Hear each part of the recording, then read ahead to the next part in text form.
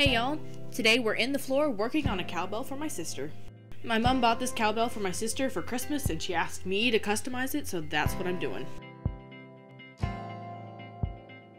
have to keep it a secret, so I stuffed it full of paper towels to keep it quiet. It already has an MSU logo on it, so there's no need to worry about that. I just need to add her name on the sides and a design on the back. I used some plastic wrap and some masking tape to mask off the handle, because I don't want to ruin them.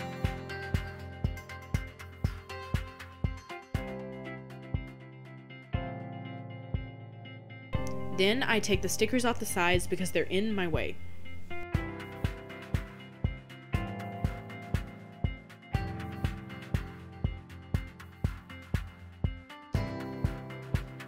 Now I do a lot of measuring and marking to make sure I can get the design super even. Before I did all this, I sprayed it with Mr. Super Clear.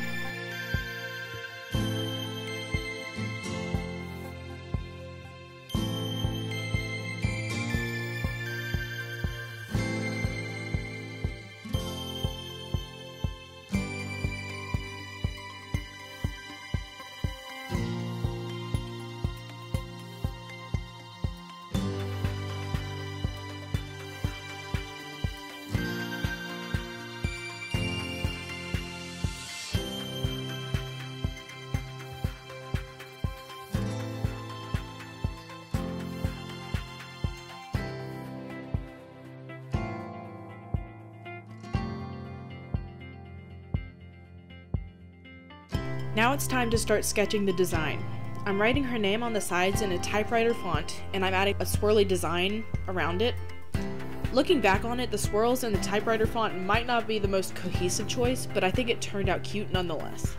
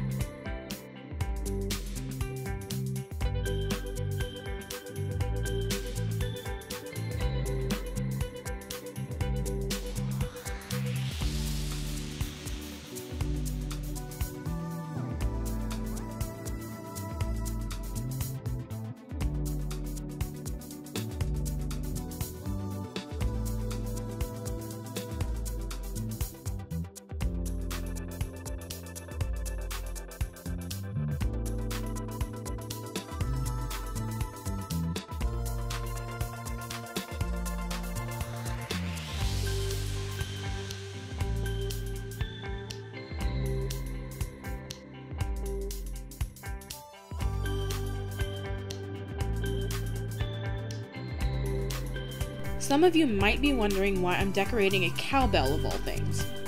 Well, my sister goes to Mississippi State University, and the cowbell is just their thing. It's used to cheer at football games, it's used for decoration, it's used for a lot of different things. And like I said at the beginning of the video, my mom bought this for my sister for Christmas, and I get to customize it for her.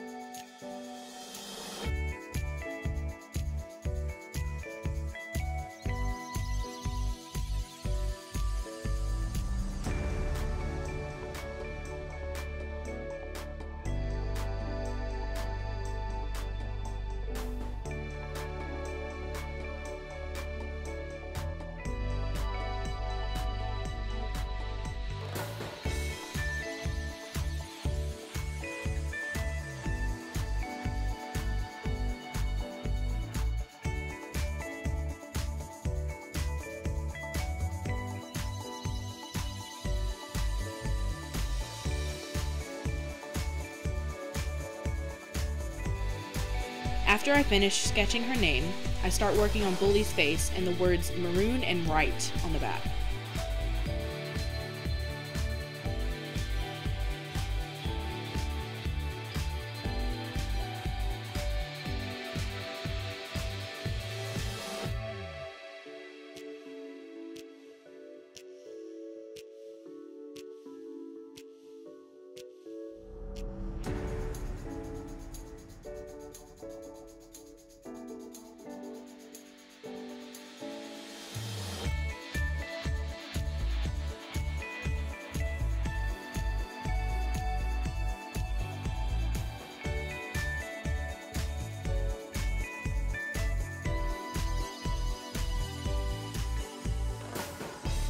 MSU's mascot is Bully the Bulldog, and their colors are maroon and white. But my sister's in the English department, and they have a shirt that says maroon and white, So that's the reasoning behind the design.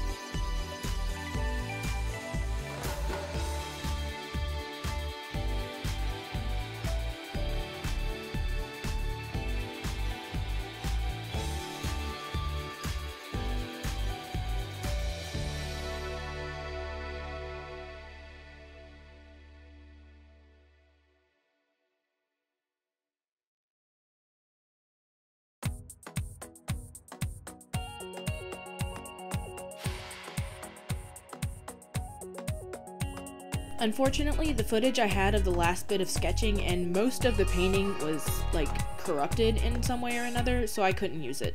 Instead, we're just gonna skip straight to painting Bully's face.